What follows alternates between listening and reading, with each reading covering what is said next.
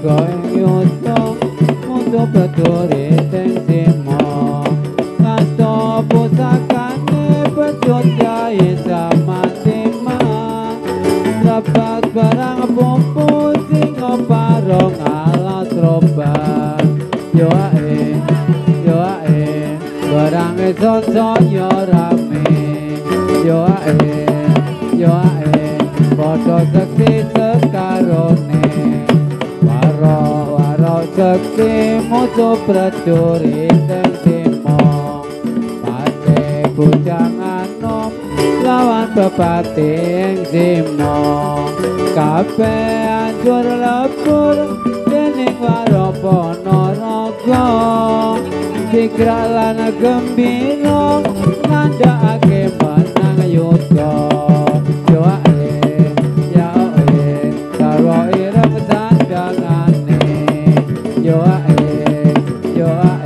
Ojo, dekti sekarang